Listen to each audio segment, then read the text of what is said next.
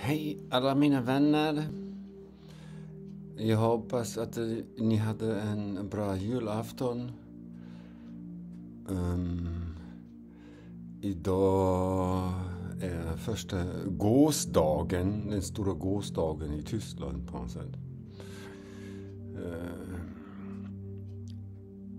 det har för mig tyvärr oväntat eh, inträffat en detalj som jag inte hade räknat med.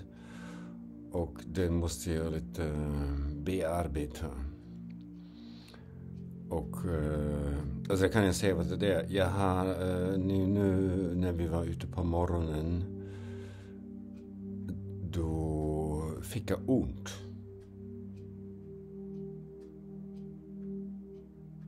Det hänger ihop med en olycka, en ganska så svår olycka som jag hade haft för över 30 år sedan. Och detta är oväntat. Eh, eh, och jag kan inte så riktigt koncentrera mig jag har ont. Jag har inga smärtmärr eh, så här. Och där i kogan i våran affär har de inte heller någonting. Eh, men det är egentligen inte problemet. Jag måste psykologiskt mm, komma ur detta. Jag vet ju egentligen, jag tror att jag vet varför jag har ont. Och eh, jag hittar, jag hittar psykologiska medel att bekämpa. Bekämpa låter, mm. men det blir nog bra detta också. Men jag kan, detta, som följd av detta så kan jag inte mer riktigt koncentrera mig. Mm. Jag är hela tiden i mina beräkningar om min egen ont i huvudet. Mm. Och eh, ja, jag Steppi här, han tröstar mig lite grann. För att Nej, ibland... Nej, ett, ett detalj som jag inte tänkte på. Mm. Man sitter här, första juldagen i intet om man vill, och har ont. Stackars jag. Ja, Maja. Jag hittade, jag hittade också en lösning för detta. Mitt, äh, mina yttrande här, mitt svammel, äh, är med andra ord lite... Äh, lite mer innehållstomt. Mm. Kanske alltså den där, den där olyckan som jag hade.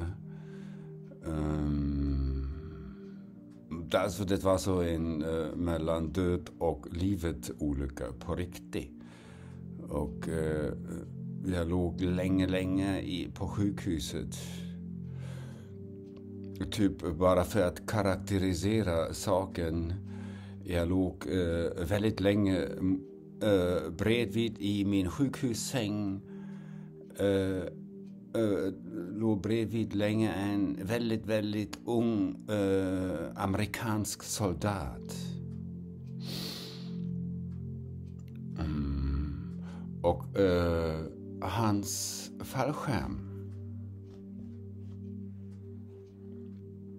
öppnades inte riktigt. Den där kategorin uh, olyckan låg jag ganska länge på sjukhus. Alltså med detta hänger detta lite grann ihop. Eh, det är två, två ställen i princip. Det är i princip huvudet och det är några andra, eller speciellt en kroppsdel. Mm, som dök upp nu. Så jag tänkte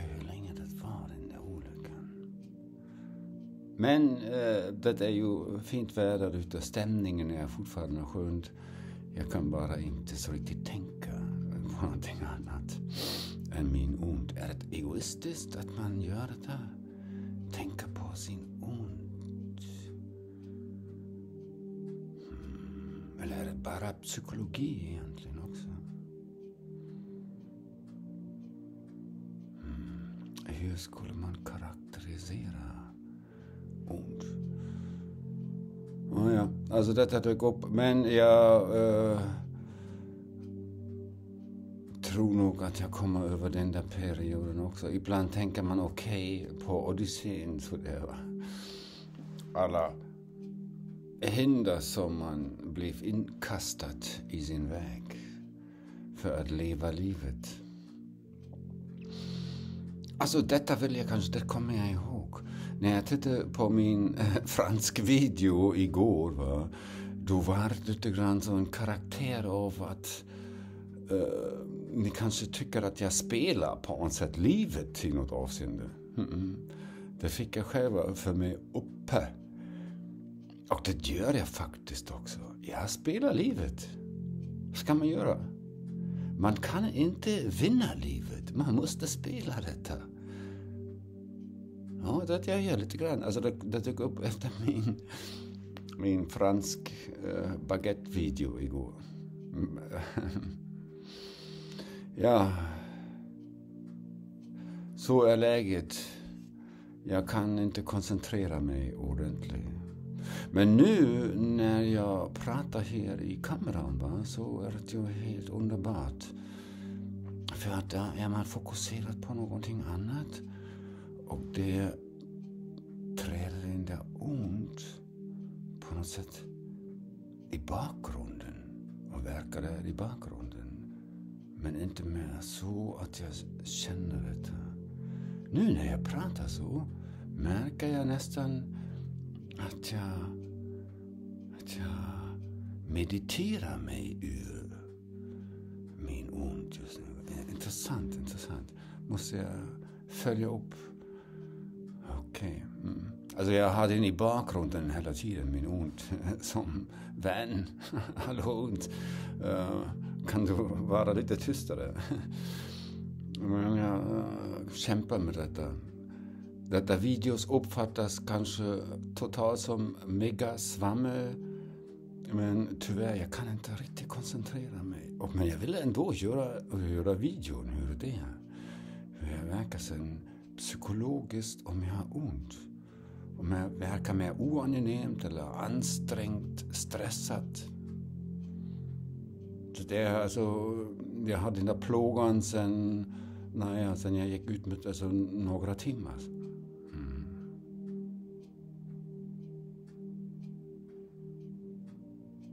Kanske är det en del i detta som måste vara så för att det kommer att bli bra. Det försöker jag klura efter om var någonstans min ont passar dit. Tja. Jag fick ju väldigt trevliga julhälsningar också av alla.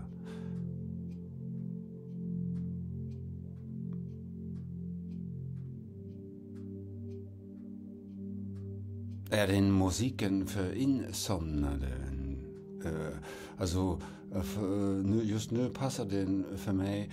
Jag fick av en väldigt trevlig person lite grann en liten hänvisning att den är insomnande. Alltså, ja, kan det ju vara. Alltså just nu tycker jag kan det vara lite insomnande. Uh, det är ju i princip lite grann...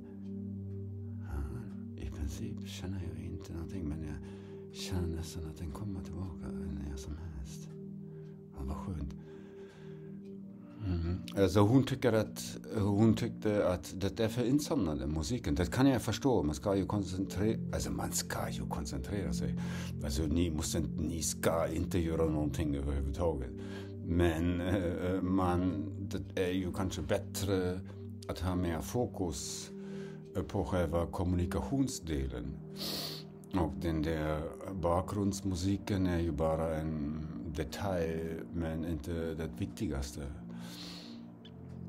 Men eh, på ett annat sätt eh, eh, sitter jag egentligen inte här för att prata om fakta och vad vet jag och läget. Jag säger bara allting ur mitt, mitt ähm, perspektiv.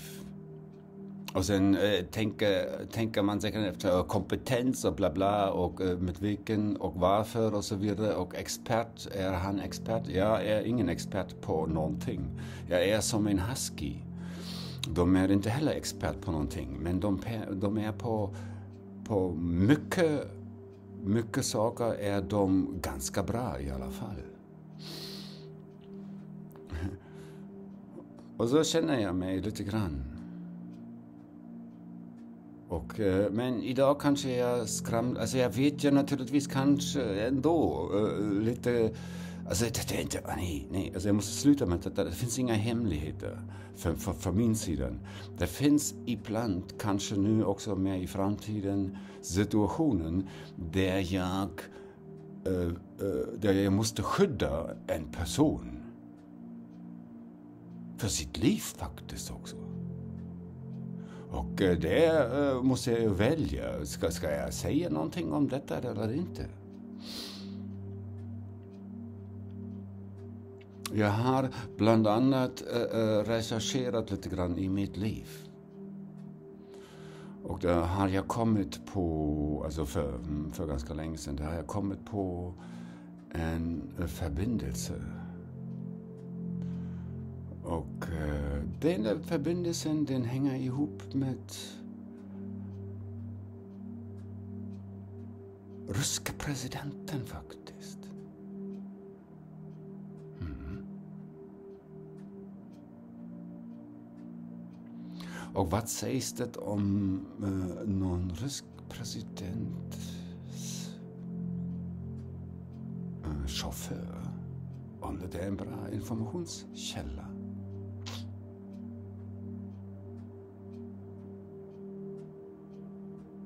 Ja, ni får fundera. Nu skramlar jag lite grann. Men vad ska jag göra?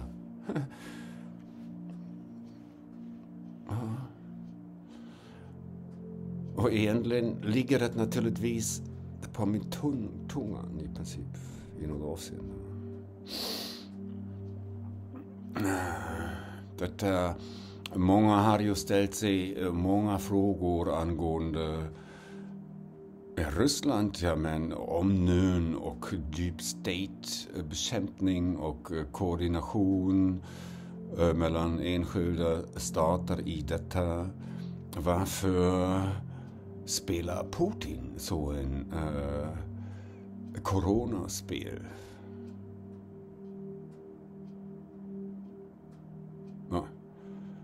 Typ. Alltså, I Ryssland var jag också, alltså, detta som vi, får, som vi fick, som jag fick verkligen också från uh, verkligen allra första gradens informationskälla var det också en coronaproblematik. Eh, Den finns ju fortfarande då, där också. Och varför, om det nu är en fake, varför jag spelar Putin som exempel, han är ju rysk president. Eh, varför spelar han detta spel? Ja, det är en fråga som man kan ställa sig. Och den är besvarad för mig.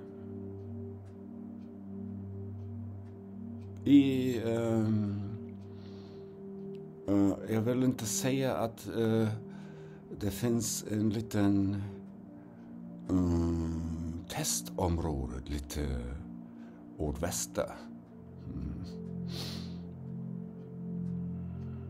Nej, det är i alla fall intressant.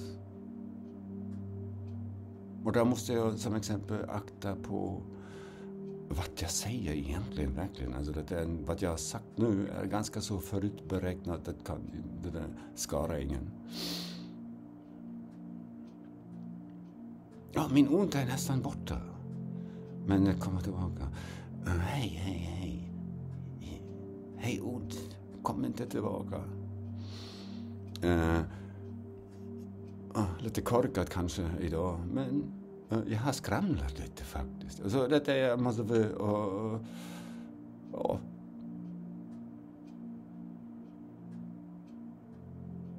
typ detta med dem där varför och Nietzsche. Mega. Jag hoppas att ni får ha en jättetrevlig annan dag imorgon också. Um, jag hanterar här min situation. Jag måste hantera min ont i alla fall, det vet jag. Men det kommer att bli bra. Tja!